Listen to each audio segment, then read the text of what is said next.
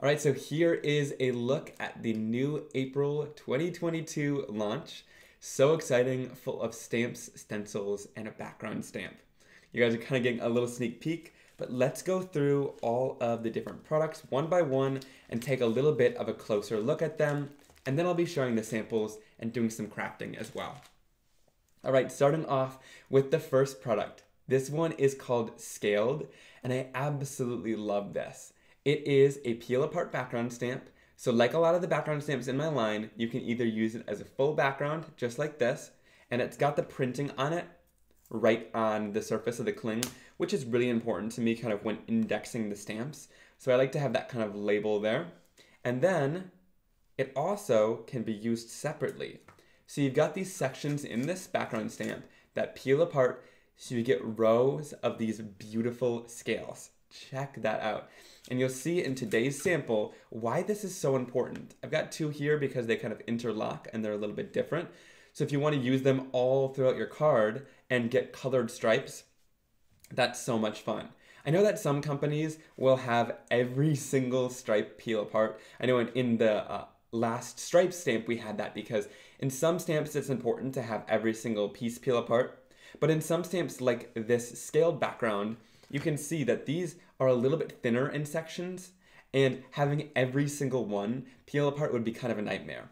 So we just made it to be two so that you can kind of repeat that stamping all the way down. And I'll show you how to do that a little bit later in today's live. But we really care about making them easy to use for you guys. So this is still in two larger chunks.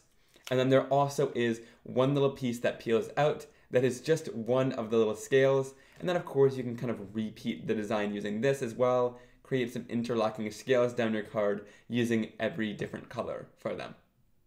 And I see some people in the comments already. Un, or Kimberly said that the, the scales would make great dragon skin, which I agree, and it's great for some of the other things you'll see during today's live as well.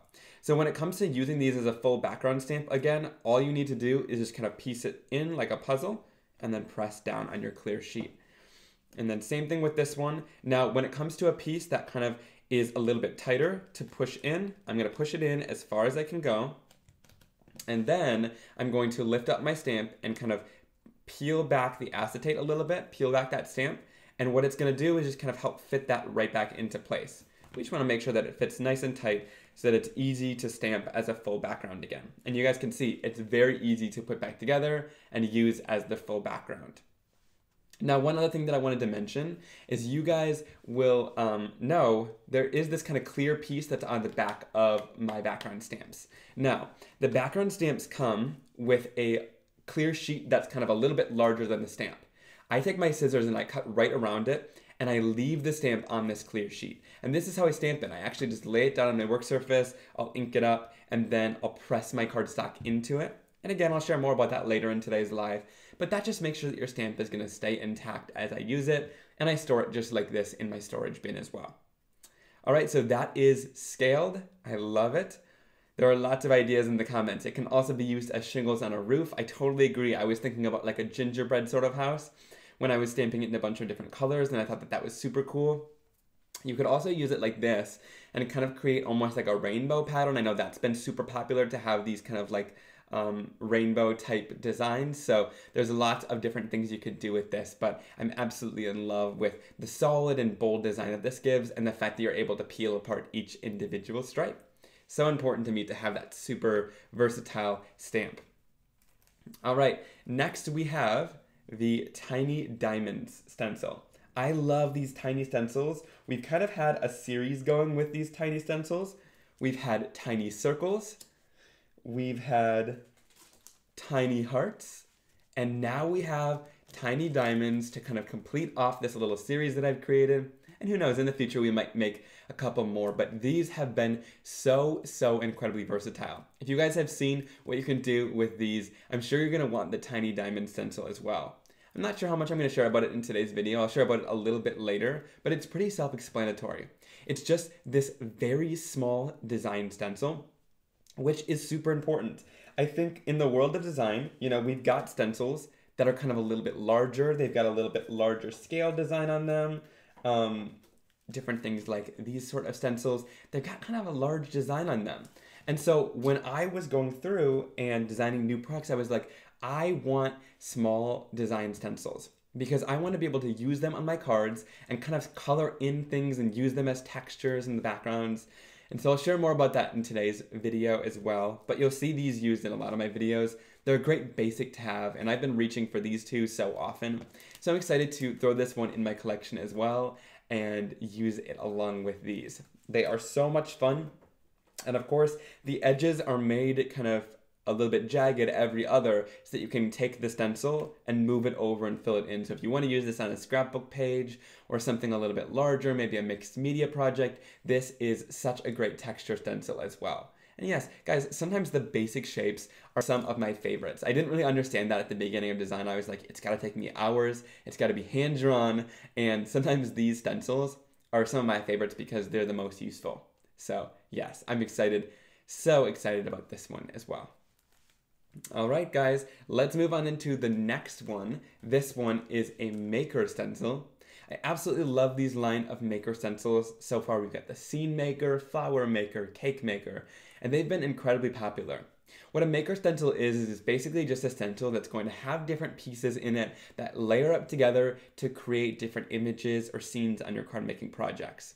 And the really awesome part about this as well is it comes with masks. So you've got masks for both of the mermaid tails and the seahorse as well. So they'll come inside here and you just have to peel it out there and then you have the masks as well. So what's really awesome about this is you've got the two tails, you've got the different details on the tails that you can fill it in with. There's the seahorse and the details you can have, some bubbles, and of course these scales. And these scales are super awesome to, of course, use as sort of like your own little tiny stencil. We've got kind of a small little version of the scales, which is exciting. I like to create designs and stencils like this as well because you can go in with your sort of lunar pastes and be able to easily put it through a stencil. So that's why I designed this. I'll share a little bit more about this later and how you can kind of make it a little bit more versatile, but so exciting to have this stencil. All right, guys, next we have this one. And I think that you guys are gonna look at this a little bit weird at first, but I think you're gonna be super excited when you see it in the samples. Because once you see this stencil come to life, I think you'll all understand it. I think when I created it, a lot of um, people didn't really understand it. Um, I know my mom looked at it like, what the heck is that? So basically you get four different masks in these weird kind of oblong abstract shapes, which I love having the masks because then you can create your design and then mask it off and create an ink blended background around it as well. But then you also have the, um, of course, regular stencil with the cutouts. And so these are super great to use behind images and create sort of, like it says, abstract backgrounds.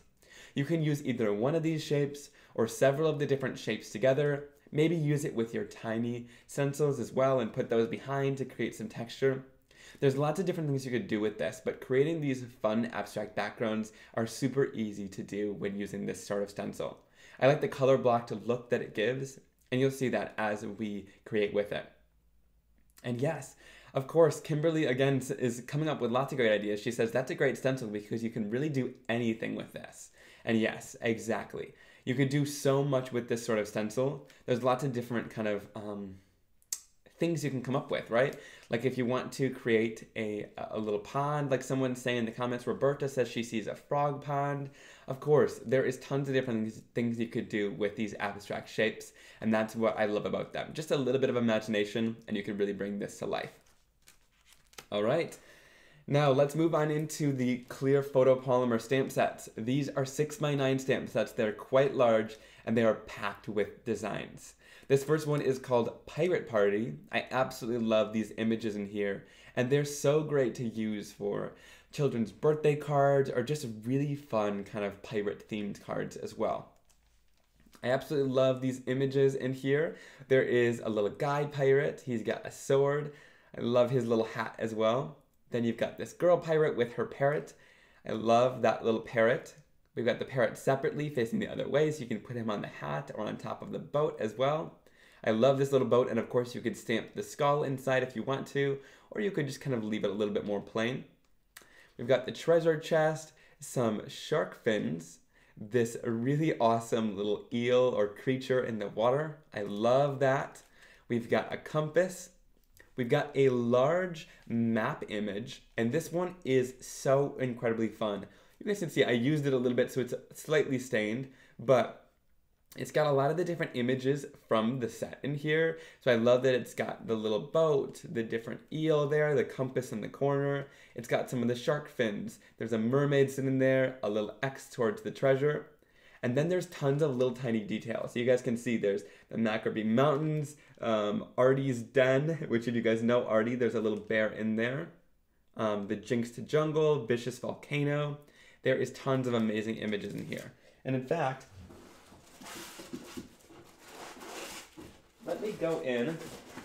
I just wanted to share because I know you can kind of sort of not see that as well because it's stained. Let me pull up the new one. Check out all of that detail in there. I wanted to make sure you guys get a good look at this because I spent a good two hours on that to make sure that the map was really awesome and super detailed as I was drawing it. So I'm so excited to kind of see that come to life. And there's lots of different amazing things you could do with the map image. Of course, you'll see in the samples, I created a little map with it, which is so exciting, but stamping it all around a background could be super cool. It's just a great image that goes along with the pirates. All right, then we've got some really great sentiments to go along with. I love the birthday sentiments. A little birdie told me it was your birthday. Um, thanks for guiding me in the right direction. I treasure our friendship. Walk the plank. Thanks a loot. You are so awesome. How are you? Ahoy matey and yo ho yo ho. So I absolutely love this. It's been a great addition to the line, and I think that the images in it are just so playful and fun. And I love, like I said, that it's kind of sort of birthday themed, so you can really kind of get a good use out of this stamp. Yes, lots of you guys are saying that the focal map stamp is so cool. Um, stamping it in a lighter color, um, making a cute invitation backdrop for it, like almost like a background. Yeah, I think that would be amazing. And you'll see, you'll see that in today's um, today's samples as I share those. And then the last photopolymer stamp set is called Owl Buddies. I absolutely love this one too, guys. So basically we've got this larger owl image here on a branch. We've got the mirrored owl image, but also I made it a little bit smaller. I added a little tuft of hair to him.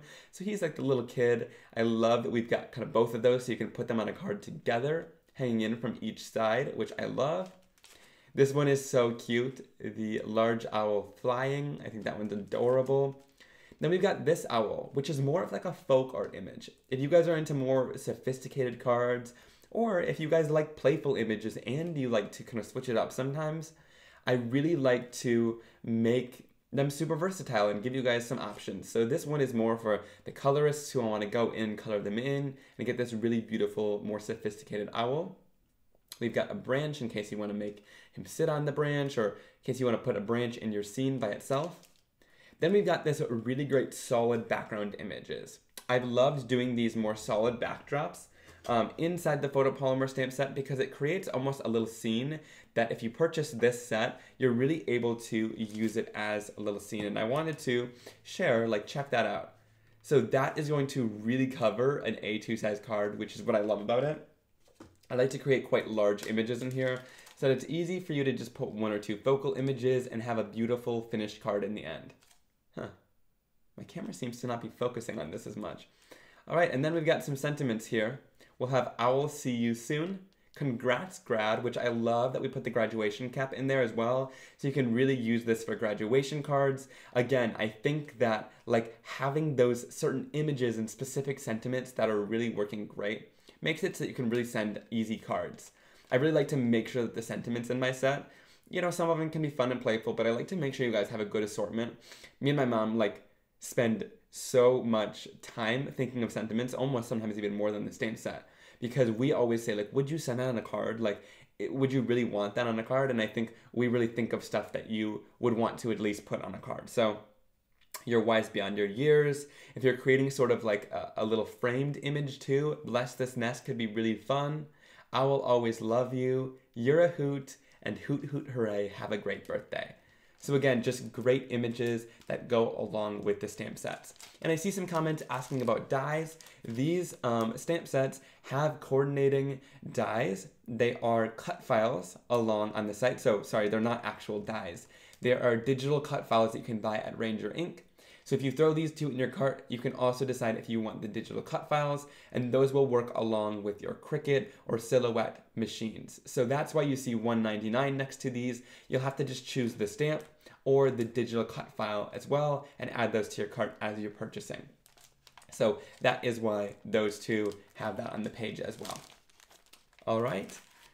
Well, that is the new release, but I also wanted to pull in a couple of older stamp sets because I think it is so, so important to revisit old stamp sets as we go along and really get use out of these as well. Because I like to always encourage you guys, and you know, you spent money on these stamps. I like to always encourage you to pull back out your stamps and get more use out of them. And in fact, I'm even thinking of one more, which I'm going to pull out right now. Yep. All right. So let's go through these as well because I think it's so important. I think um, when I'm designing these stamps, I always like to bring back old stamps and recreate with these. And you'll see these in a lot of the samples too. And these were really like released at the pretty beginning of my career. So if you guys haven't seen these yet before, we've added them to the top of the Ranger website right below the release. So that in case if you want to add them onto your order or you want images to go along with some of the things that you're buying today, these are super fun. And of course, if you have them in your collection, I wanted to show them too, just to remind you to pull them back out. So here we have the timber stamp. I absolutely love this one. It's birch trees. And of course, this one is a peel apart image. So you've got lots of these different trees that peel apart separately. I'm not gonna do it, but you guys can see those cuts in there. So like these two come separate. There's a grouping of three and then a grouping of two. And of course you can use it like this, make the owls kind of sitting on it like that. Or you can kind of turn it like this and have it just as a background in the background of your card. So I love this image and timber is really awesome. All right, someone in the comments said they think Ranger might have run out of it. Check scrapbook.com as well um, if Rangers run out of it, but timber is a really fun one. So that one, in case you guys have in your collection, definitely pull that one out. This one is called Wild Waves, and Wild Waves is so much fun. It originally came out with the surfing stamp set, which I'm going to show next, but Wild Waves is a really great one. Of course, each section here is going to pull apart, so you get kind of individual waves going both directions, which is so, so awesome. And I hand drew these. I think they're just so fun and playful to go along with your images. And of course, along with the mermaids, I think these ones are so much fun to create with. And the pirates could be really great as a background as well with the boat. So, so much fun. All right, Ranger says timber is in stock, so be sure to check over at rangerink.com if you want to check for timber. It is on the page. It's just a little bit further down in the site because I forgot to even tell them about that one. But yes, timber is on that page, so you'll just have to scroll around on my design page. All right, Surfs Up is a really fun stamp set as well. There's a different surfboard in here. You can add stripes to your surfboards, different designs like that fun floral background. And then you got these surfer bodies that you can add the heads down to. We also have some other stamp sets like dudes and dudettes that have more heads that you can attach onto the bodies. We got Artie, you can make him go surfing, some sunscreen, some different images you can add along with them. Course, this dog which you can add on the surfboard, and lots of great surf sentiments. The thing I love about this is, of course, ride the wave, and a lot of the different like seize the day sentiments are going to work really well with lots of the different images from the new sets as well. So I wanted to show those. And then this one is going to work perfectly along with it. Now, I only had a stained version of the stamp set, so I couldn't really show you a new one, but I'll try to show you the detail in these images. So you've got a unicorn and a bear, which you can attach onto the mermaid tail. You've got two different mermaids and merman. And then, of course, some fun little kind of uh, detailed background images that's some sort of seaweed. Um, lots of different little images you can use along with the pieces. But I really wanted to also share the sentiments. You mer make me happy. Have a fantastic day. We mermaid for each other. You're mermazing. Like those are gonna work so well along with the new Mermaid Maker stencil. I love going back, like I said, because of course we didn't give you any new sentiments in this. We didn't want to create a whole new sentiment set just for this. But go back in your sets and you can find lots of great, amazing sentiments and different images. Of course, if you want to use the mermaids along with it, like there's so, so much you can do with it. So check that out. And um, there is lots of amazing things you could do with it. All right, guys. So now that I've shared all of the different um, products, we're going to share the different samples. So let's start off with this card here. I love this one. It has the amazing scaled background stamp. And of course, here you can see that I peeled apart each individual stripe section itself. So you can peel those apart separately. And then I just stamped them all individually, each row, so that you can have each one be a different color. I love it. It looks so unique. It looks like your own pattern paper. Um, that's one thing I love about the peel apart stamps. Not many stamps on the market are going to peel like that. So of course there's lots of mermaid stamps, but I've only seen ones that really have the solid stamp, right? But this one allows you as the creator to go in and decide whether you want to stamp it all solid and in the background or you want to create your own standout design like this one. You really have that opportunity yourself to go in and do that. I think I think this mermaid uh, scaled stamp is going to be one of the most popular from the release just because of all the amazing things you can do with it. Yes, Una. Una says, there's the colorfulness we know. I think sometimes, too, people get a little bit worried about the background stamps because they're all like jet black printing on the background. So don't be afraid of that. Just imagine it in color and you're going to see lots of amazing designs you can do with it. And then here I use a sentiment that just says, follow your dreams and don't let anyone stop you. This is from my encouraging word stamp set. It's got a bunch of big, bold sentiments that are in my handwriting. And I absolutely love how that looks along with this stamp. Like I said, don't be afraid to scroll down on that Ranger page and, and find older stamp sets or find stuff from your collection and use it along with new stuff. It really helps. All right, this one. This is the new whimsical ovals. And do you guys see now how amazing this is, right? So all I had to do was just go in and kind of overlap some of those in the center. I love that wherever you overlap the ovals, you're gonna get sort of a darker greenish yellow in there. Here you're gonna get a little bit of a purple when I overlapped that and then you can kind of see it creates this kind of cool abstract look. And you've got those kind of wonky edges and those little bit of like weird shapes. I love that they're not perfect. I love that it's not just a perfect circle that you're going to put behind it, right? It makes it a little bit more wonky and playful and fun, which is so amazing. And yes, someone in the comments is saying um, you could use this with lunar paste totally to get that amazing shine. You can see those mermaid tails, the, the end of the tails there are done with lunar paste having a little bit of a hard time picking it up on camera, but you can kind of see that shine that it's giving. It's just beautiful in real life as well. And then we've used the scales and the mermaid maker tails in order to go in here and just create these two mermaid tails that are going on the card. As well, we have the Your Mermazing sentiment from the Mythical Mermaids stamp set. And I love that one. Just down there, it works great with the mermaid tails. All right. And then we have the Mermaid Tails along with Wild Waves. So again, go in and use your old stuff. I'm encouraging you guys. It's so important to use the old stuff with the new stuff. And, and even if you don't get anything today, even if you're like, mm, you know, I've got some of the older stuff, pull that out and get inspired. I hope that today's live really inspires you to get more use out of them as well. So here I used Wild Waves. I did some ink blending in the background. I heat embossed the Wild Waves. Then I went in and I cut one of the waves out, just fussy cut it really quickly around there. And then I used the Mermaid Maker stencil to create these two mermaid tails. And the really awesome part about that then is you're able to just tuck that in between the waves and how fun is that? Right guys, so think, think outside of the box and, and use your stuff. Don't let it just sit in the drawer. And then I used We Mermaid for each other. That is from the Mythical Mermaid stamp set. And yeah, pulling together the combo of products together just really creates this beautiful, stunning background. All right, I love how that one turned out. I think you guys are really enjoying that one as well. Yeah, Wild Waves is a super fun background stamp. Um, I just think it's beautiful. All right, next one. We're going in with, of course, the scaled background. Here I used the scaled background on just a blue piece of cardstock. I tone on tone stamped it. I think I used a little bit of clear skies to stamp it down. And then I used the Pirate Party stamp set.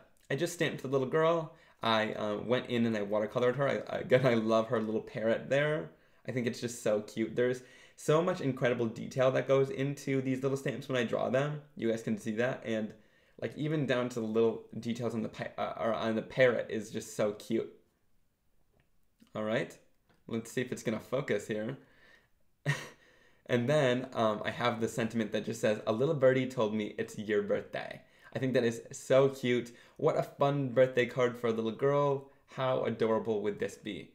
right? And I love that this is just such a playful and fun stamp set, right? We can't go too serious, we can't get too far away from the hand drawn and fun, playful look of my line.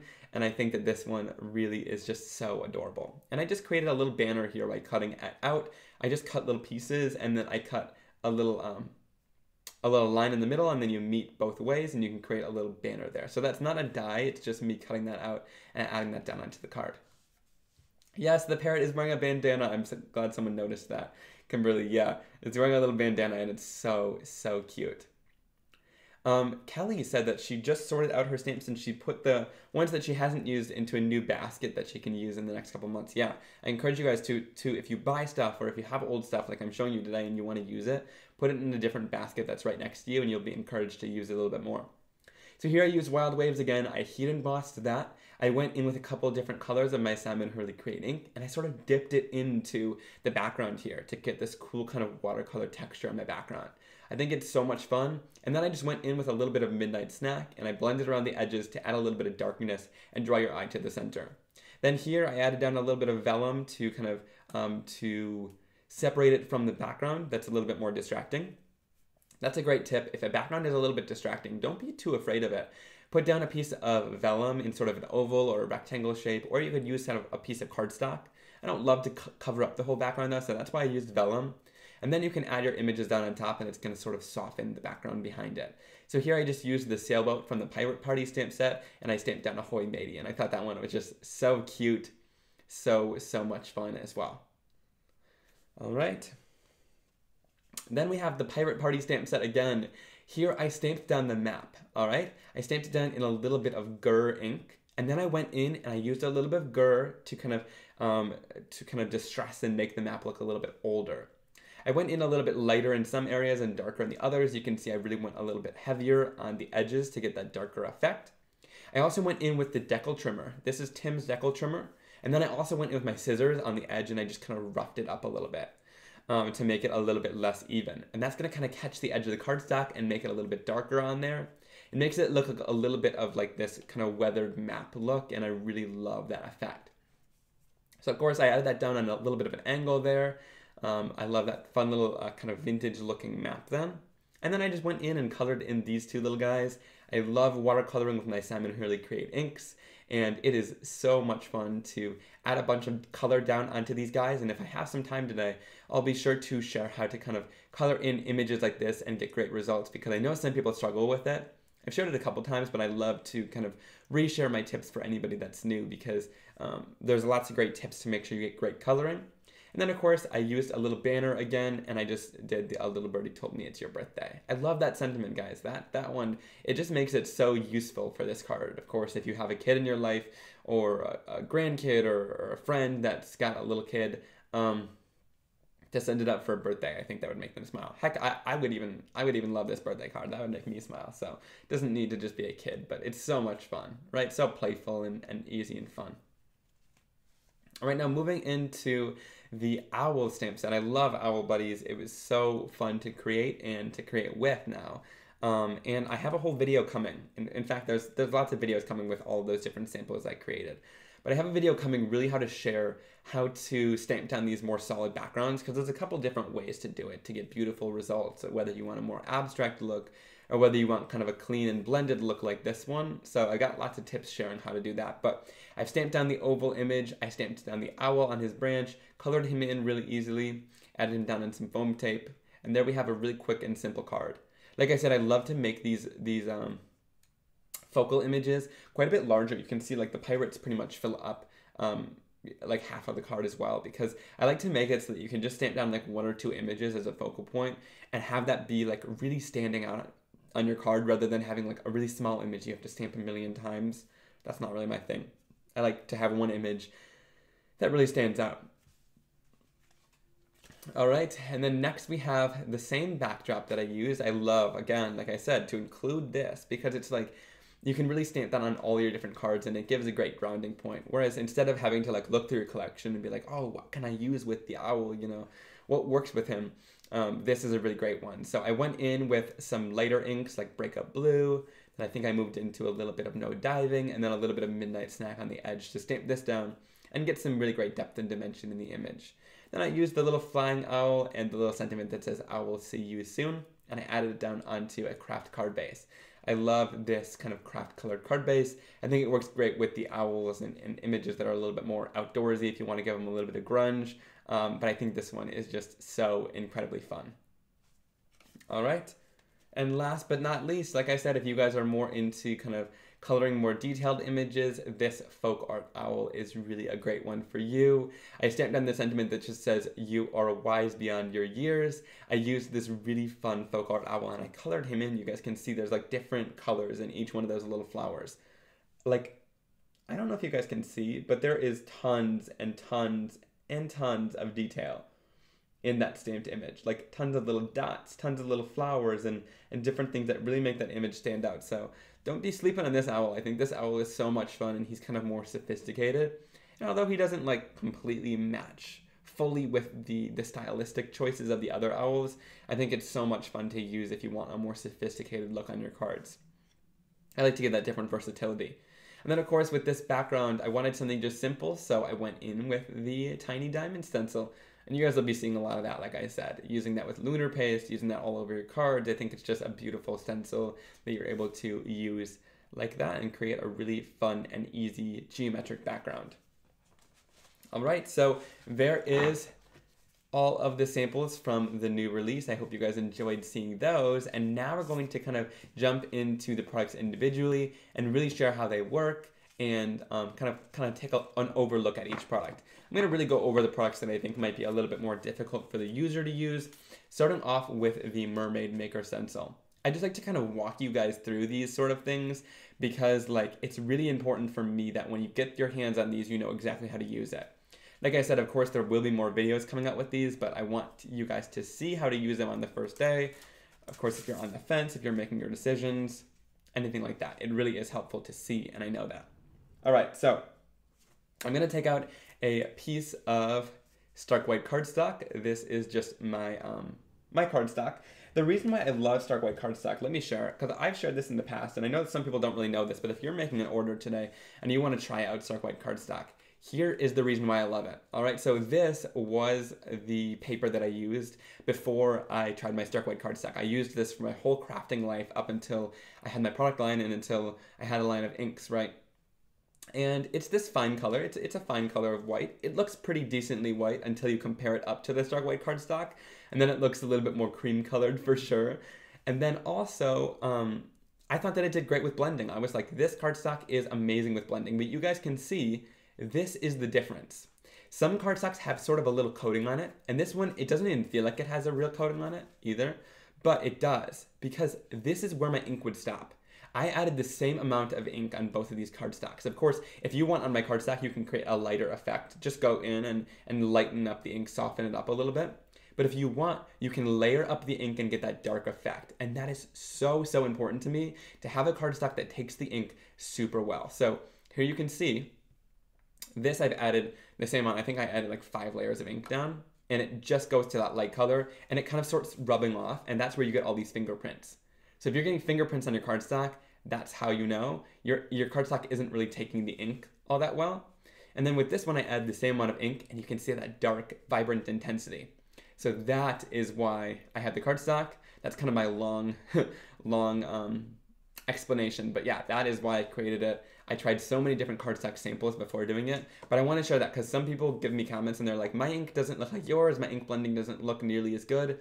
Just try out this cardstock. I'm not really trying to sell it to you, but like I think you're gonna have a great experience. And of course, if you don't, like it comes in a pack of ten, so so it's your choice to kind of make that decision. But test it up and compare it to the cardstock you have at home and see see if it's something you think is worth investing in. But I think it's it's something that I've used kind of for the entirety of my line now because it's been so important to me to have a cardstock that works well with the inks. All right, so I'm gonna go in with a little bit of scrapbook.com's mint tape. I know they're in here and, and I love their mint tape because it doesn't rip my cardstock and it's great for masking off different areas of the stencils. Especially with these sort of maker stencils, really when it comes to the maker stencils, we give you as many images as we can on top of this stencil. And that's super important to me so that you guys have a ton of versatility, right? But if we're going in here, of course, you could just avoid it with your blending brush. But if we're going in and adding our ink down, all you want to do is just tape off these images. It's not too big of a deal, but we just give you all those images so that you have tons of options in your set. We try to fit as much as we can on this stencil. All right. So, going in, a little bit of mint tape here. And then let's go in and start my blending. All right, so I'm gonna blend out these little guys. I think I wanna do, I think I wanna do a different color tail than I've been doing because if you guys saw, you will know that I have been doing lots of um, mermaid tails and purples and pinks, but I think today I'm gonna use a little bit of Psych. I love this color. I'm gonna go in with a blending tool. I use these little Gina K blending brushes and um, one thing that I'm gonna do with it to just make sure that it is going to have the right color is just go in with a little cloth, bring in my psych, and just kind of wipe it off until it goes back to the psych color. Could I use this with all my greens? So that's a good tip if you want to just make sure that your um, colors are going to kind of come back to normal. All right, so I'm going to go in here onto this large one with a little bit of psych. We're going a little experimental with these colors, but I think this one's going to be so much fun. You guys will see see my plan once I am done blending this out. All right. Tracy says she can she can vouch for this Stark White cardstock. It handles water well. Yeah, I use it for um, all my watercoloring. So if I if I do share watercoloring later in today's live, I do all my watercoloring on the cardstock too. It's kind of crazy. Like every technique, I I really do just stick to the stark white cardstock, um, and I love that it's just kind of my go-to for pretty much everything. I know a lot of people says it worked good with uh, Copics too. Like there's a lot that people love about it. All right, and then I'm gonna go in with a little bit of this blending brush. This has Tropical Tango on it. Um, I'm not even going in with any extra Tropical Tango. I just want a little bit to add just a slight amount of green to both um, kind of different areas of the mermaid tail and just add a little bit of variation there. All right, I love that little teal color there that we got going. And then, let's see, what should we do with this one? I think we'll stick with pink for this one. I like the pink look. And then for this, I'm going to use a little bit of rosy cheeks. Go in and blend this out.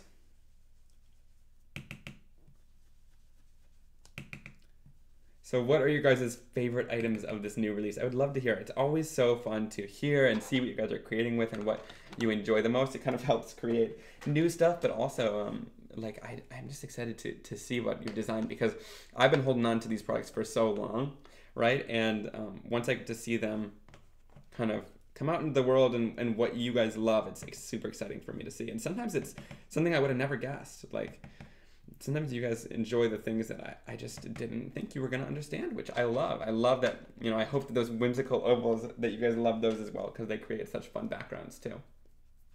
All right, so Going in with just my cloth, I like to go in and just kind of wipe off these little areas. It's super easy to do. My ink cleans off really easily with just a little bit of water as well.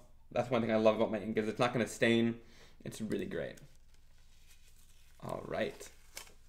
How fun is that one? So of course, I always say with these maker stencils um, that like you can stop whenever you want, right? If you love these mermaid tails as is, you don't need any of the details, totally stop right here. Like you don't need to keep going. You don't need to keep using these different layers. I know that some people think that layering stencils are a little bit difficult, but we made it as easy as possible so that hopefully you guys will kind of understand how these layer. So next we're gonna go in with the tail portions. And these are super easy. There's a large large tail detail section and there is a smaller one. And of course the larger one goes with the larger mermaid. So all I'm gonna do is just kind of tape that down right next to it. Peggy says um, owls and stencils. Um, Una is talking about a new cloth. It, it, I've had this cloth for a while. I've been using it kind of along with it. I don't use it for as much ink stuff. This is my old, old cloth. Yeah, it's my old cloth is gross. I, that one needs to uh, one needs to go. But at this point, it's like a luck charm. Like it's like a good luck charm, you know. So I mean, I don't know if I can get rid of it. All right. So um, for this, I'm gonna go in with a little bit of lunar paste. Now, when it comes to lunar paste, I'm to share a couple of different ways to apply it so that you guys really have all the options in the world. Now you could use some different colors of lunar paste, right? We have Psych, which is to match this really well. We also have Minty Fresh, which could be beautiful on top of this, I think. And there's also Later Gator, which could be a really beautiful green, actually, that would be on top of there. But I think I'm gonna go with Psych. I'm gonna keep it light. I love Psych, it's one of my favorite colors. So I think that's what I'm gonna use for today's um, work. All right, so I'm gonna go in with my palette knife first. And I'm just going to bring it in bring in literally just a tiny amount of paste. Now, here's here's what really depends on what you want to do, right? So you could go in with a palette knife like this and go in on your project. Or you could go in with a blending tool. The blending tool, if you guys have seen Lunar Paste, is going to give you kind of a flatter result. It's going to give you great shine, but it's going to kind of not give you any texture. Whereas if you want a little bit of texture, you can always go in with your palette knife and just spread that through. And you can still do it really thin. I just have taken out just the tiniest little amount because all you need is a little tiny bit for this. All right. Oh my gosh, I love this. Okay, so once we've got that, you can kind of lift this off and we can go in and clean our surface really quick super easy to clean off your lunar paste area. And then I'm going to lift off my stencil. And how cool is that? It's super easy to do um, with the lunar paste there to add a little bit of depth and shine to your image. All right, now I'm not gonna do this other one because I just realized actually right now we're gonna have to wait for this lunar paste to dry in order to do anything else. So I'm gonna leave this one as is. I would wait for this to dry. You can heat it with a heat tool if you want to, but I'm not gonna share that on today's live because I find that heat tools are kind of loud and a little bit obnoxious sometimes, and, and I don't want you to have to sit here and watch paint dry with me. So all I'm gonna do is just clean off this stencil. And we'll then step into how to create the scales on the pink one. All right. But of course, if you were doing the pink one as well, all you would do is just add the little tail down there with a little bit of lunar paste. All right, but next I wanted to share how to add the scale design because there really is two ways to add the scales down. All right, and I'm gonna kind of share them in today's live. So to add the scales down, if you want to keep your stencil fully intact, you could, and you could add the scales down like this, and I'm gonna have to literally, you know what? Sometimes I'm not thinking as much, but we'll just do this. that's great. We can set this off to the side, and as this dries, you guys are gonna see that's gonna get some beautiful shine. I love the light green psych color. It is so, so beautiful on those mermaid tails. How cool is that? And then let's go in with the tail. Now, like I said, there's a couple different ways to do it. The one that I've pretty much been using is going in, just putting the scales on top here, going in with a blending brush and or a blending tool. You can either use either one. In fact, last night I was finding that I was gonna have more luck with the blending tool because I found you don't go out of the lines as much because it's foam, so you're really easily able to see where the edge is, but you can go in with either one. I've been enjoying the little detail brushes as well. Both of them work really well. But I'm just gonna go in and blend this through. All right. And like I said, it's super easy to just get right up to the edge there. And check out how easy that is. So that's what I've been doing for this mermaid tail. And I think that's probably what most of you guys are gonna do. I can't imagine um, most of you guys doing what, what I'm gonna share, but you totally could. All right, so the one thing I'm going to share here is that you could do this I don't think many of you are, like I'm saying, but it's to give you more versatility with your stencil. And yes, I'm to bring out the scissors. I know lots of you guys scream when people cut out their stamps or when people cut out their stencils or anything like that. All right, but that's what we're doing today. So we're just going to go in here and cut this right down here. Super simple, super easy to do. Doesn't take much brain power. and just cut it right down. And how many of you guys are screaming in the comments right now? All right, but what this does is it makes your stencil more versatile. Of course, you're gonna have a little bit of a wonky looking stencil, but not many people are going to be looking at your stencils, right, while you're creating.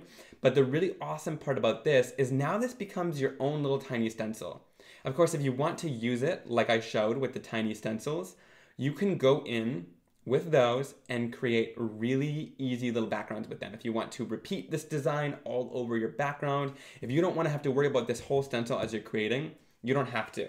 Of course, what I'm gonna do is I'm gonna keep mine in my stencil bag and store them both together like this. It's super easy to keep them together. But here's why I love this so much, all right? We're gonna create another mermaid tail really easily. All right, so we'll go in and I just wanted to share this in today's live because I think this is so important. If people are like, well, I don't have those little blending tools, I don't want to do that. Here is what's so important that I think not many of you guys are going to really think of, but it's it's so helpful. It's it's what I do with pretty much everything. All right, so we're going to go in and do the same sort of blending that we did on here. Let's use, what color should we use again? Let's use the, um, you know what, we're going to use something a little different. We're gonna use Tropical Tango, but I'm gonna start off a little bit lighter. And like I said, this is why I love Simon Hurley Create Cardstock because you can layer. So if I wanna start off with a little bit of a lighter color, I totally can. I'm going in here with a little bit of Tropical Tango.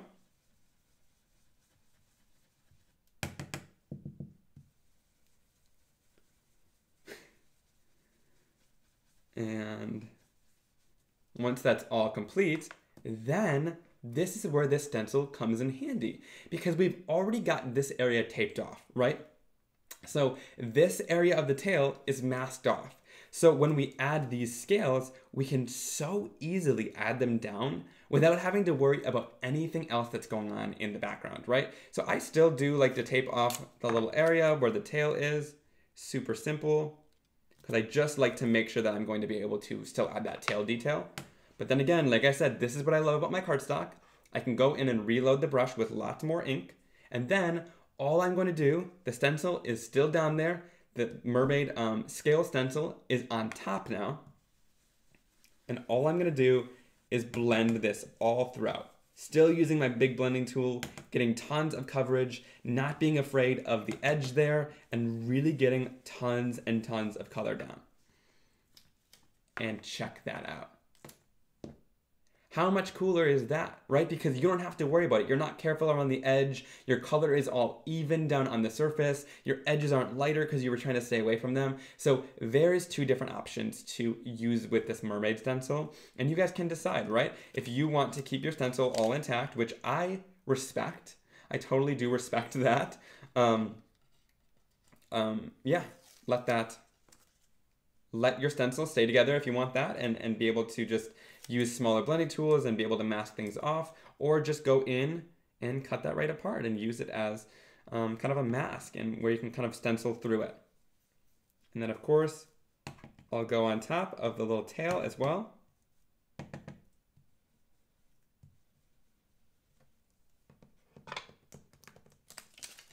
And add that down. Check that out. So that is so, so easy to do. Lots of you guys are saying it's going to be much easier by cutting the stencil. You know, I agree. And I think sometimes, see, it, it looks a little bit sloppier. It's not as clean. I think sometimes as makers, you need to really think about your products as where, um, you know, we might have designed it like this for price point and, and really not have thought of this until I was creating with it. And then I was like, well, it's going to be so much better for the customer to just cut that out right? And there are going to be people who I know are going to be scared, and you don't have to cut that out. I'm not forcing anyone to do it. Um, just like if you have a stamp set and you want a part of your sentiment to be gone because you don't like a certain word that's in your sentiment, cut it out because you can always piece it back together. You can still use this stencil together in a set like this. You can still keep in the same packaging, but it makes it so much easier as your maker when you're creating the projects to get beautiful and stunning results. And even like if I were to do that same technique where I layered this up, you're able to now spread lunar paste through your stencil and not worry about it going over the edges, right? Because it's masked off. So you can use more mediums to it. It really makes your whole stencil so, so much more versatile. So there you go. That was my tip. That was why I wanted to share the Mermaid Maker stencil. We'll see if I, uh, we'll see if uh, Ranger likes that I encourage everyone to cut their stencil after the live. But I'm telling you guys, I think it makes it even more exciting and versatile to get more use out of it. All right, we'll set that off to the side. And then we will go in with more of our products. What else do you guys want to see today? I'd love to share some more stuff. I think I'm going to also share the tiny diamonds, and then I'll go into some of the owls as well, because I know you guys are loving the owls. So with the tiny diamonds, I wanted to share this quickly because there's a couple different things you could do with it, of course. Like all stencils, but I wanted to really share the uh, different way to use it. Now, Timothy makes a good point. He says, cut, cut it or purchase two stencils. Timothy, I like what you're thinking there. I like what you're thinking. Maybe that's what I should have told everyone. all right, so with tiny diamonds, of course, you have lots of amazing uses for this. Like I said, you can do what I just shared. Like if you want to blend in this stencil and then you want to layer this over top while keeping that stencil on and add some diamonds in it, do that. If you have the, um, the stencil with the hot air balloons, that one is called Going Places. There's lots of different stencils in my line that have like larger areas in them that you can kind of stencil through like this one, and that's going to be a great area to put these smaller designs. That's really why they were created for for things like that where we wanted to kind of in one of my projects that I created with the owls that I went in and I used this stencil to just create a nice geometric background. And that is one thing I love to do with it. But I also wanted to show how to really step this stencil up a notch and bring it to a whole new level. All right, so I'm going to go in and start off by just taping down my stencil. Just taping it down to my surface. Make sure it's nice and centered. And then I'm gonna put a piece of tape right down there. All right. I think that's pretty good. All right, so then what I'm going to do is go in, let's use some pinks and orange. I got a comment the other day that told me that I use too much orange. I like orange. I used to not love orange, but I love these warm colors. I find that they make really bright and happy cards, and I think that sometimes happy cards are what's necessary and encouragement. So I do I, I do love these warm colors, but you could use whatever colors you want don't need to shame anybody for what colors they use. all right, so just going in and quickly um, adding down some prom queen all over this stencil. It's super simple to just go in with a blending brush. Now, the thing that I'm going to mention is I do love using blending brushes for these. I don't love using the foam blending tools. And here's the reason why. Just specifically for this stencil and some other stencils that are smaller or detailed right? Especially if you've got like little images like a star or a heart as well, which you'll see in the tiny line. These blending brushes have a ton of little bristles. And so with those bristles, you're able to get into all these little areas, right? Because the little bristles are gonna hit the little crevices and cracks of your stencils. But when it comes to um, like a foam, you might not get the corners of this and then it might start looking like circles right? So that is why I want to share this. There's a time and place for everything. I love those foam tools for um, getting down like super solid and vibrant color on my background and, and getting beautiful blends. But when it comes to like really tiny, tiny stencils, like the name of this one, I do like to use brushes to get into the little detailed areas and make sure that we got a crisp image. Hey, Kathy Zilski, how are you? Thanks so much for stopping by.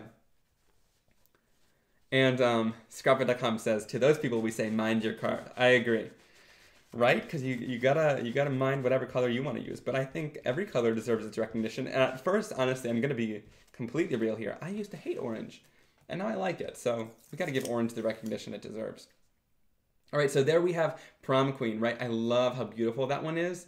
I think it is so stunning. And we're gonna go in now and shift this stencil. So you guys can see this is where it started, right? Move it like this and place it down. Now, when I shift this stencil, are we going to get a little bit of overlap? Yes. Is that what I want? Yes. I love when my stencils overlap like this because it's going to create a new color in between. And in fact, You know what? No, yeah, we'll use orange. We'll use orange, but we'll use a light orange. This one's going to be kind of a yellow orange, and it's going to create a little bit of a different, kind of darker color in between the pink and orange. So the reason why I love when it overlaps is because it'll create new colors in between. All right, so just going in with a little bit of orange and coloring and blending this in. All right, and I like this light guppy color. I think it's super bright and cheerful and I think it'll look great with this pink. But yes, Simon Hurley Create inks are a translucent dye ink. So whenever you um, whenever you layer it over top with a different color, like you'll see me doing here with the pink, it's gonna create a new color in between. And you saw that in some of the samples too. When we were layering the whimsical ovals and things like that, it creates such a beautiful new color in between where those two meet. All right. Just blending down.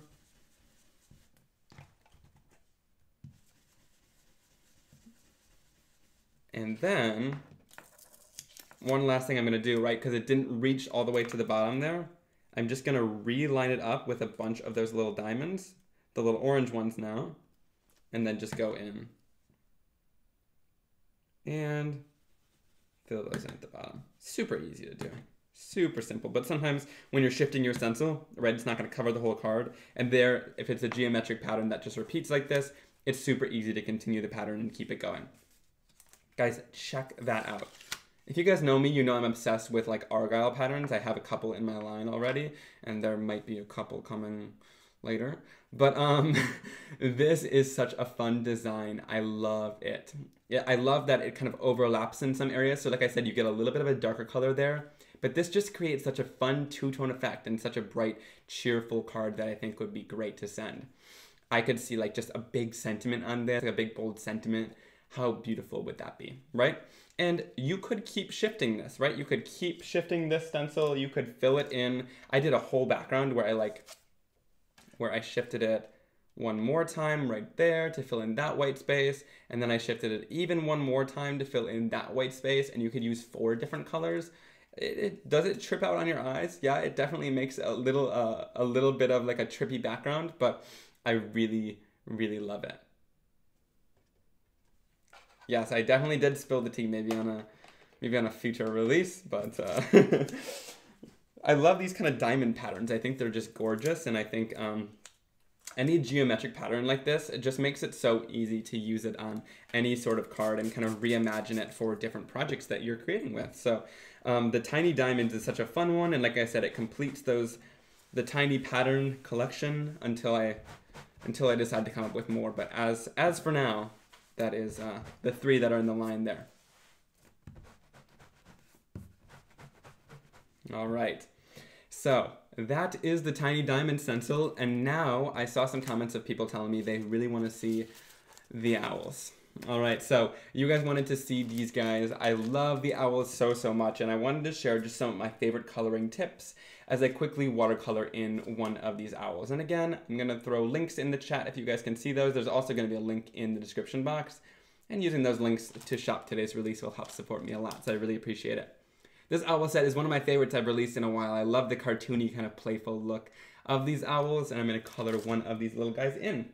So starting off, one of my favorite tips is by far going to be to emboss the image.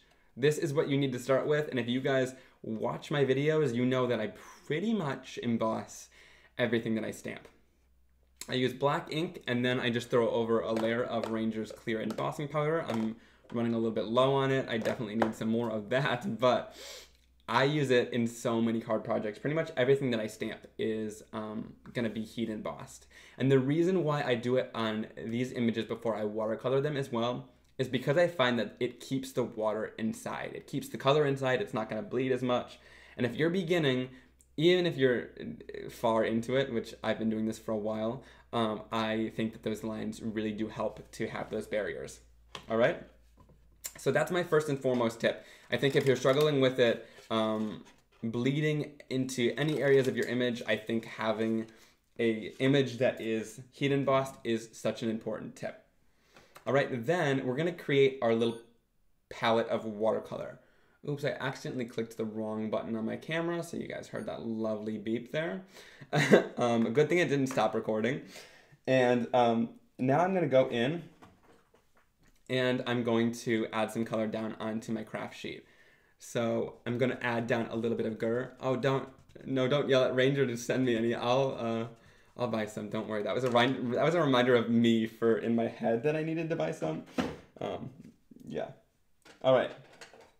I'm going to go in with a little bit of Over the Moon as well. I love these light colors. This light yellow especially is just gorgeous. I love to use it to mix together with my brown to make things a little bit warmer as well. Love it. All right, and then I'll add down a couple other colors. I want to use a little bit of green for the branches, so I'll use just a little bit of overzealous. We'll throw in a little bit of orange, so we'll use a little bit of roar. I think that's good. Is that all I need? I think that's all I need. Maybe I'll throw in a little guppy too. I love this light orange, if you guys can tell. All right, and I'm working on a craft sheet um, or like a, you can use a palette as well that you want to work on. Just make sure your surface is nice and protected. All right, so then I'm gonna go in with my brush here. I just like to use a paintbrush as well. These are Ranger's artist brushes. I love the um, pack of artist brushes that they have.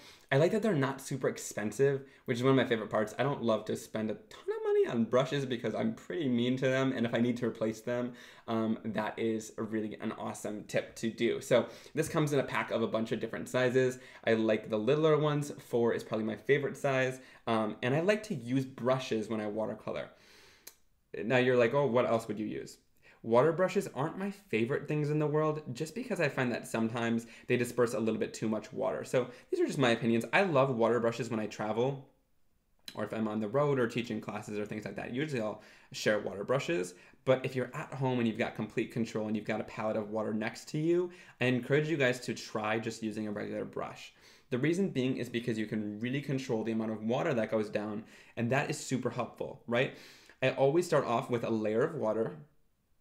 So you guys can see I laid down a layer of just water down first, um, and then I'm gonna go in and watercolor it over top. And you can see that that layer of water is super helpful to go in and add down a solid layer of color. It makes it so the cardstock is ready to take your color and it's not just gonna seep it all right in. All right, so once I've colored that first layer down, you can see that we've got a nice solid layer of color down there. That again is because the water makes it super helpful to make the color super solid without it sinking right in. Then I'm going to use a little bit less water and I'm just going to go in with my color. We can dip into a little bit of water, but I'm going to go into a more solid area of that color there. And then I'm going to kind of start dabbing this onto my owl there. And it's going to kind of blend out that color and add a little bit of depth and shading to the image. I'm going to do it on his kind of wings here wherever those feathers meet, I want to add a little bit of shading. And then you can kind of blend it out. To blend it, all I do is just kind of wipe off my brush a little bit and then I'll just kind of pull out some of that color. I'm to do it again, right where his head meets his body. We'll add a little bit of shading.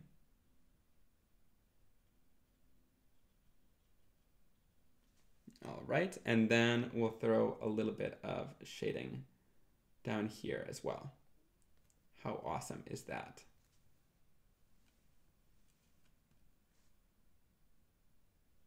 All right. How beautiful is that? And I love how easy it is to add that shading down. Um, like I said, I like to kind of keep things simple. So as I'm watercoloring, I add down that layer of water. Once that layer of water is added with that layer of color, then I go in and add my second color layer. I usually do it when the color is still pretty wet. That way it's easy to really get this blended in between colors. If you wait for your layer to dry too much, it's not going to be super easy to blend. And so that's my biggest tip too, is like kind of uh, work in layers here. So you can see I'm not coloring his face. I'm not trying to color in the whole owl. I'm working on a little layer to make sure that this gives really great color. Oh, someone said that they loved the names of my inks. Thank you so much. And yeah, I come up with them. Uh, me and my mom kind of sit together and we uh, come up with the, the inks and, and names and things like that. And it's so much fun to kind of create those and have lots of creativity with it. All right. Okay, so then I'm going in again, another layer of water, and then I'll go in with gur again, and some water and add that down. And then of course, get some shading going by just adding down a little bit of that darker color with no water. And how beautiful is this owl turning out? I think it is so much fun, but um, you can always add different uh, different color owls, make it super fun, maybe make it like a bright owl. Um, I think that would be adorable. Um, Kathy Zilski is asking, what kind of paper is this on? This is actually just on my cardstock, surprisingly. Um, it is Stark White cardstock. Um, it's 110 pound, and it's not really made for water, but like I find that it takes the watercolor and the different water techniques that I do really well. It's it's honestly the only cardstock I use. And the reason why I like it so much is because I find that even like watercolor paper where it's not supposed to be super textured sometimes doesn't give me the best stamping result. And so I like that this is super smooth at least so that I know that I'm going to get great stamping results and then I can do my watercoloring. I mean, you can see here, I'm not like the most pro watercolorist ever and I'm not adding 30 different layers. And of course, if you did, like it would probably pill, but when you're just adding down a little bit of water to do some coloring like this, it, it is no big deal. And I do lots of backgrounds where I add tons of water too, and it seems to hold up really well, which is one thing I love about my cardstock. But yes, if you're, uh, this goes for anyone. If, if you're ever kind of wondering what cardstock I'm usually using in my videos, it usually is always this, pretty much no matter what technique I do. Um, I love it. I love the versatility. And I love that it's like one thing that I can recommend to, to you for lots of different techniques. All right. Just shading in the owl's eyes. And then we'll shade right up here as well. How fun is that? All right, and then I'm going to go in, and I like to add a little bit of warmth sometimes, and for that I'm going to use this color that I was talking about, a little bit of Over the Moon with just a little bit of Gur mixed together, and it's going to create this cool kind of soft yellowish brown color. It creates a little bit of a warmer look. Um, I'm not sure if you guys can see on camera there kind of the difference, but I love it. And that's how I create the skin tones too. One thing I love about that is you can mix as much brown in as you want to make it darker or lighter, but the, the yellow will just add the warmth which you need. All right, and I'm just gonna add a little bit of over the moon all over here as well. Maybe we'll even throw a tiny bit into the eyes to make them not so white. All right, and then for the beak, we'll go in with a little bit of orange for the person who told me that they hate orange.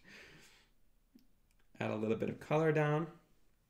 And to add some shading, you can either go in with the same color, darker, like I've been sharing, or you can go in and add a darker color altogether. And here I'm just going in with a little bit of Roar, which is a darker color altogether, and add a little bit of that color down on.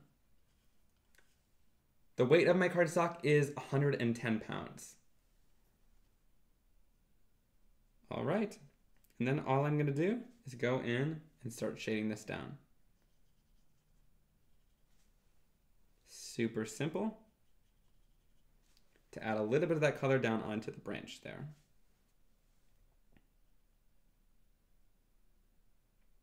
I love how easy it is. And then I'll just finally add a little bit of green down into this.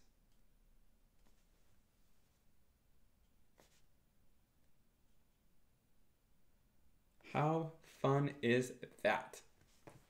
All right, lots of you guys are saying that this owl is super cute. Well, thank you so much. That means the world to me. I love being able to share those different tips with you about coloring and things like that. I think it's so helpful.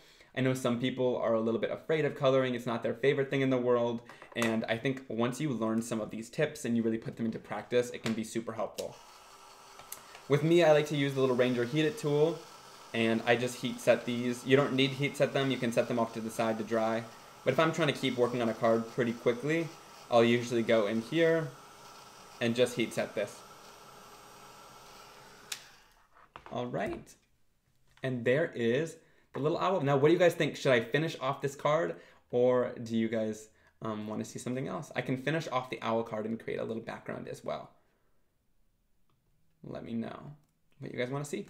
And um, with these, you guys can either use the um, use the cut files or you can go in with your scissors. Now here I like the Fiskars Spring Assist scissors. I know I like shout about these on the rooftops. Um, basically, I love them so much because they spring back out at you so your hands won't get tired. But you're able to just go in and really easily cut these out and get into all of those details and have a nice smooth cut as well.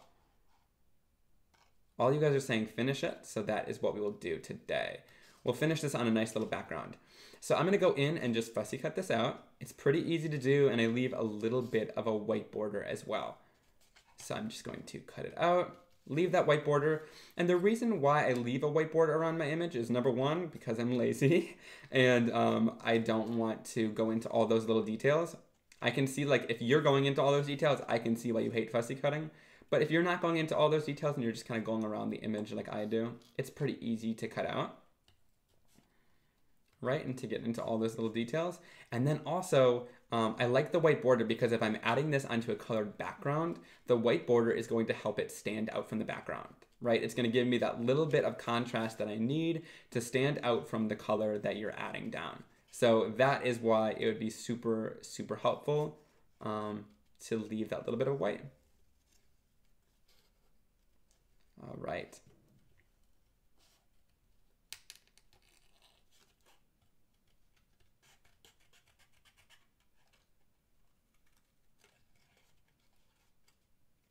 Um, someone's talking about my desktop surface. It's like the wood looking surface that I uh, craft on. It's basically a piece of laminate. Um, do I encourage everyone to work on their laminate tables? No. Um, it mainly is just for videos because it gives less of a glare, but that's why I don't use a craft sheet because I don't want it to glare in the camera. But um, I recommend working on a craft sheet. The Ranger craft sheet is really awesome. I was using it last night when I was crafting. Um, but basically, yeah, this just helps for videos um, because it doesn't give as much of a glare as any other surface. Yeah, it's just a piece of laminate. Lots of people are asking about that. I know it's uh, it looks like it shouldn't wipe off as easy as it does because it looks kind of like wood, but it's totally faking you. but I usually just say that it's a craft sheet just so you guys know not to work on your table. All right. So I'm going to then finish off the card with a background. So here is that really awesome little owl image. And yeah, it's pretty easy to cut out. Of course, like I said, you could use the cut files, which are on Ranger's site. All right. And then, I almost like this. Honestly, that's kind of cute. Like if I had just like a little oval on there, I kind of like that. But I'm to do one of these stamped backgrounds just to show you how this works. All right. So, ooh. Hmm. Never mind. Never mind. We'll show you one of those stamp backgrounds on a different in a different video. It's coming up in a future video. I think this is more fun. I think this is cooler and I'm to show you guys how it kind of works in today's video. So, all right, I'm going to go in with this larger shape right here. And yeah, I think that's a good spot for it. I'm going to go in and just tape off this top section.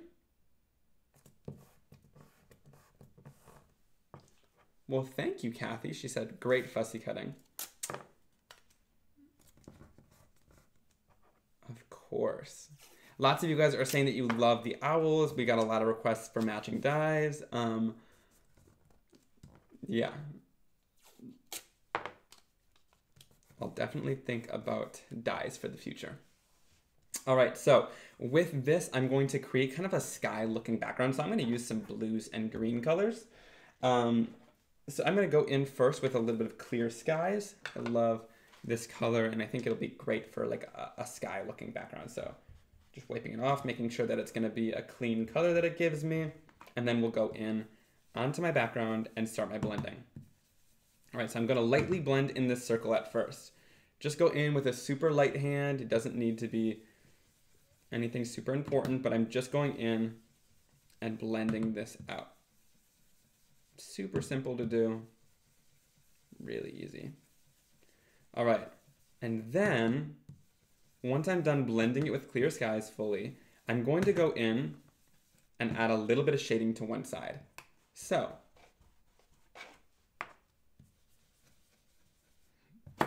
oh no.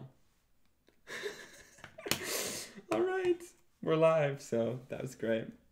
I was looking at the comments as I was trying to like push my um, blending tool back into my pad, and it just flew. All right. So I'm gonna go in here on one edge and just kind of add a little bit of darker color. I love adding some shading.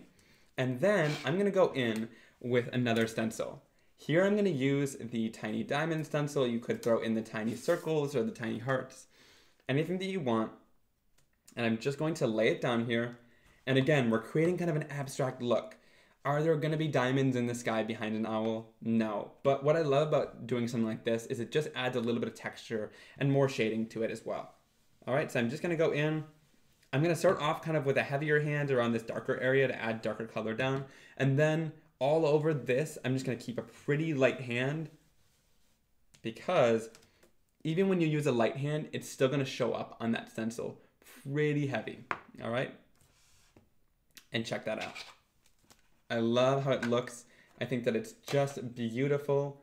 And um, yeah, it really creates such a bold effect onto this background. All right, so then I'm going to go in, lift this off of the surface. And then I'm going to bring in another shape. And I think, let's see, what should I use for this? I think I want to use this guy. Yeah. Let's add it right there. I'm just going to use two shapes on today's card. I think this is going to be fun.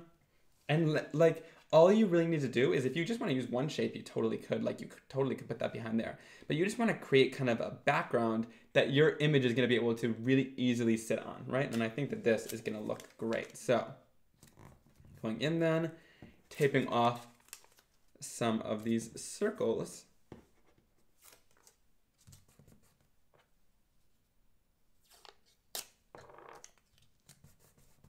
And then on this side, I'm gonna use a little bit of, let's see, you know, I'm gonna keep it blue, but I'm gonna use a little bit of Midnight Snack.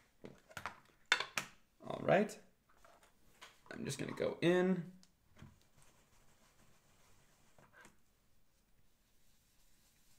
And it's a totally different shade of blue.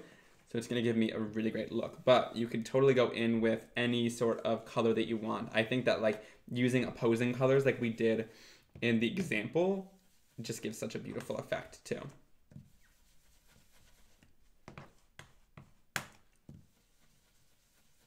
And I'm to blend a little bit lighter where it overlaps there. It is kind of a dark color, so you're not seeing the overlap as much, but still to give a beautiful effect. And then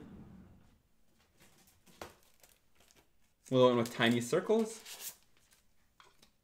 To bring this pattern in leave it on top there, and then go in and blend this out. And again, I'm starting a little bit heavier handed, and then I'm working a little bit lighter as I go across. And check out those beautiful dots that you get on your pattern.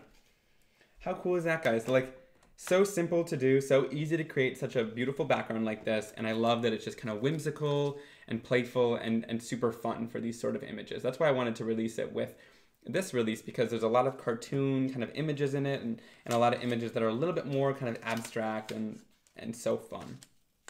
But of course, like I always say, go back and use this with other products too. I thought it would look great with the lemons that released um, at the beginning of the year. There's lots of different stuff that this would look great with. But like, check out how cute that is. I love it. I love that. All right, so we're going in with our heat tool now. And like, doesn't those little textures just totally bring this to life too? I'm telling you guys, everything combined. It's so fun to have a product line that we're building on now because it's like you can just go back into other stuff and like, you know, what's gonna work well with what and really use all of your stuff together to create a really great effect. Now I like to heat set some things um, just because um, with ink pads, they might be dry in the surface. You might not feel that they're still wet, but sometimes in the surface they're wet and then adhesive's not gonna stick to it. So I like to just dry it first. And then I'm going to go in and add down a little bit of foam tape. So just peel off a little bit of my foam and then add some down just to make it pop off the card. Oh my gosh, love lots of you guys are saying you love this abstract look. Um, yeah, it is so fun, you know? I was hoping you guys would understand. Because sometimes it's like you, you you design a stencil like this and you're like, you know, I know what this is supposed to do, but is everyone else gonna get it? And I think you guys really are. And I think it's it's such a fun one. It's so fun and easy to create just tons of different backgrounds with. And I've always kind of loved the idea of just using shapes to create with because they give so much texture and dimension. And, you know, like I said, is an owl really going to have these different circles behind it? Probably not, but it does create lots of interest on your card. And it really creates for a great design element. All right, tiny little pieces behind the leaves. And then some little pieces up on its head.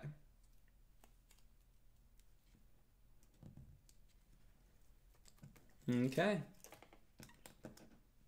Yes, totally. I think in the packaging, sometimes these products can look a little confusing, but like like Kathy's saying, once once you see it on a card, once you see it being used, you you are getting more ideas then, and, and I think yeah, you're gonna get inspired for sure. All right, I'm gonna put him right at the center here, right where both of these um, shapes kind of intersect, because I love the look of that how fun and playful is that? And then I'm gonna go in and add him down onto a card base. Just gonna use my tape runner.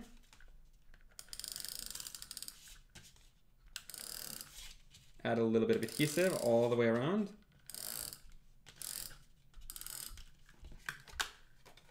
And then we'll add this down. Now I always start at the top of the card base.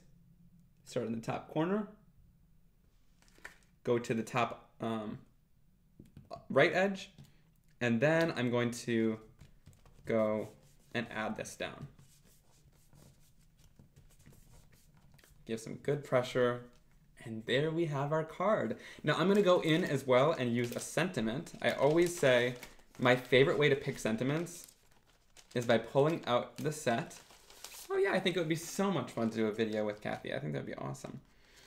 Um, and I'll do, I love to pull out the set and like figure out what's gonna fit the best on here. What do you guys think? I'm thinking you're wise beyond your years. That's kind of a fun one. I think that's a super fun one. And of course that could be for birthdays or anything like that as well. We'll pull out one of my acrylic blocks. And we're gonna stamp down the sentiment just add down some black ink. And where should I add it? Maybe right there. I'm thinking right there. It kind of tucks in nicely.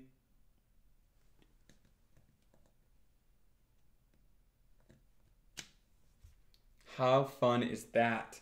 I love it. How cool. So there is my finished owl card. I'm so glad that you guys loved seeing how to create this and work alongside me to create the finished card for today with those coloring tips, using the different stencils that I shared. You guys even got a peek into the different mermaid tails. I can share this one now that it's kind of nice and dry. It's gained even more shine as it's dried and I think it is just beautiful, but there are tons of different examples that we created throughout today's video on the different mermaid tails and backgrounds and how to really step up your projects with the new release.